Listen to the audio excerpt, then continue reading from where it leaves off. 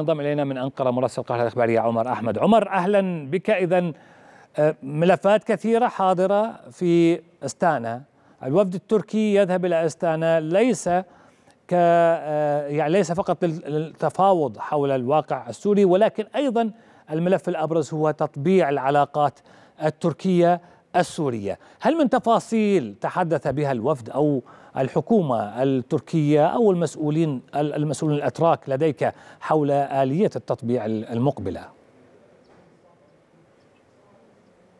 بالفعل رعد بعد التحية هذا الاجتماع رقم 20 اجتماع أستانا حول سوريا.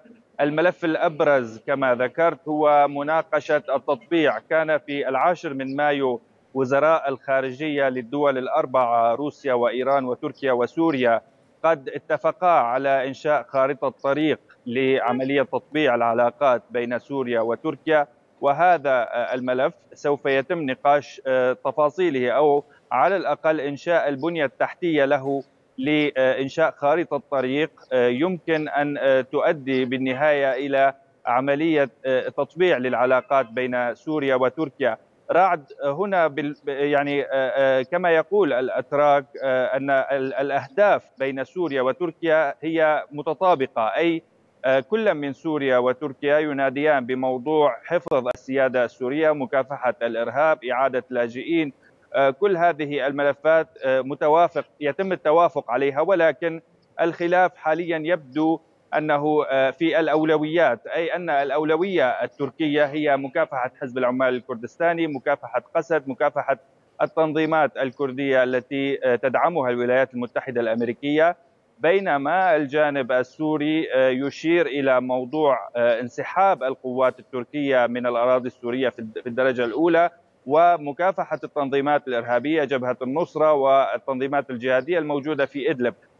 لذلك هناك نوع من يعني عدم تنظيم للأولويات حاليا ربما يتم نقاشها حاليا في هذا الاجتماع الذي سيستمر من اليوم ويوم غدا كذلك.